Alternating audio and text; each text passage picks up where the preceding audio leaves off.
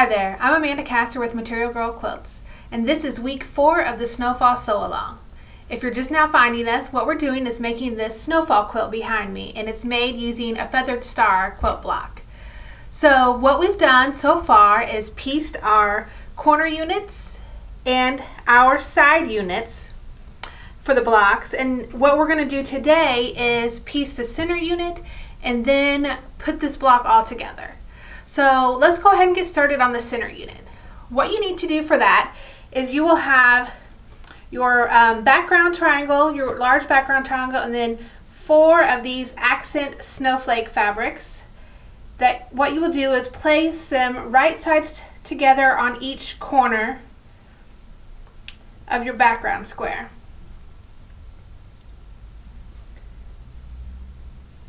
And you will draw on the diagonals on the back of these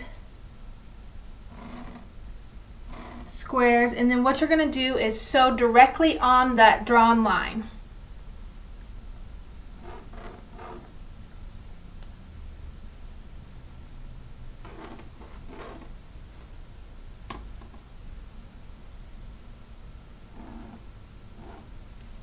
So I'm going to ahead and do that now. Okay, now once you have sewn on the diagonal of all four of these squares, you're going to trim off one quarter of an inch beyond the seam here that you just sewn. So I'm just going to use my scissors and trim those off. And then you will press towards the dark, um, towards this accent fabric for your snowflake. So I'll go do that now.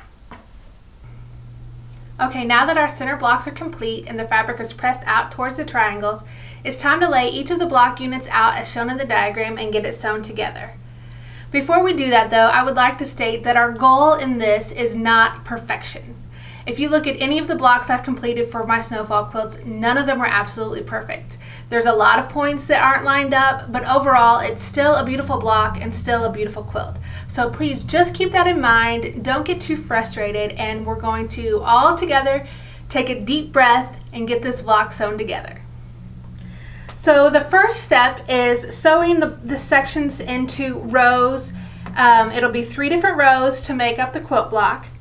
So I'm going to start with this um, row closest to me and what we'll do is we'll take the corner unit and lay it um, right sides together on top of this side unit.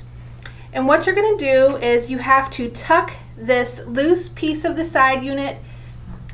You need to tuck that out of the way and you will sew this entire seam here along this edge. So I'm going to pin this now.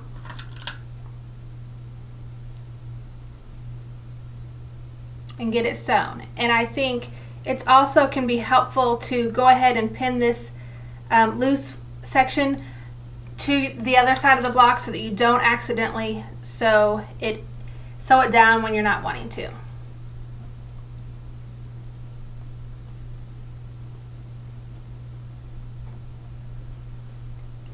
There's my other pin. Okay. So I will sew this now. Okay, so now that we have um, those two sections sewn together, I'm going to go ahead and press it towards this um, side unit here. So I'll go press that now. Okay, so that is nice and pressed, and now you see we still have this um, section of the side unit that is open. So what we're going to do is we're going to complete this partial seam. So you will flip it right sides together, line up the rest of that triangle with your corner unit here and then sew a quarter of an inch seam right there. Okay, so now that that we finished that partial seam here and we're going to press it towards the triangle of the background fabric um, just like we had started. And as you can see, these points are close, but no, they're not ab absolutely perfect, but I'm okay with that. So we, will press towards that background fabric uh, triangle, and then the next thing we do is we sew the next corner unit on in the same way. So we'll tuck this piece of the side unit back and pin and sew along this side here.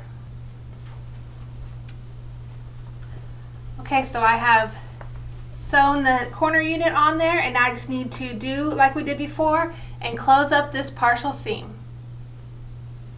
And once we get um, that done, then this first row will be complete.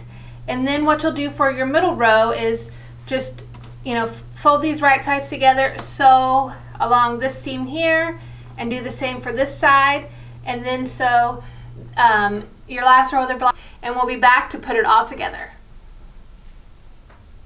Okay, so now that we have all three rows within the block sewn together, it's time to complete the block.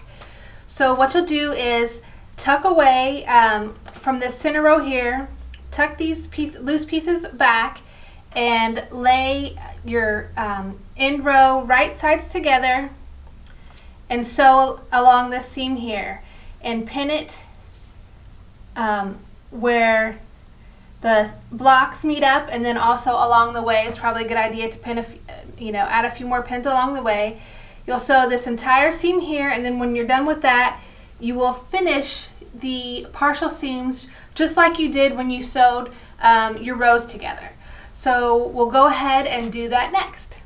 And remember when you're pressing your seams in this block starch can be your friend and help get those seams nice and flat Okay, now we've done it. We've sewn all three rows of the blocks together and finished up our partial seams and our block is now complete. Is mine perfect?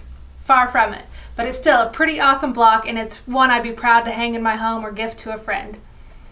So your homework this week is to finish all of your blocks, whether you're doing the full-size quilt like this blue and white one here, and make all four blocks, or if you're just doing the one block quilt like the red and white one. Get that block finished, Tag me on social media, Instagram or Facebook at Material Girl Quilts, or you can email me photos if you're not on social media at amanda at materialgirlquilts.com and you can win um, this week's giveaway.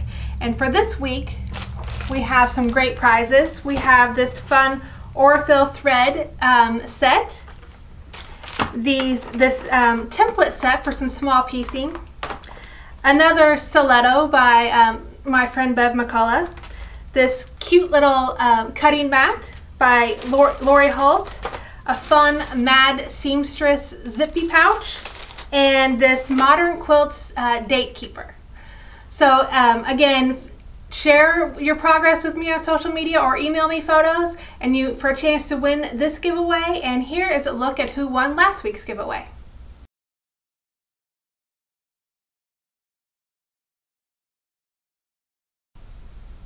Thank you so much for sewing along with me. Now next week what we're going to do is work on the sashing and the cornerstones and finishing up the quilt top. I can't wait to see you then. Thanks so much for watching.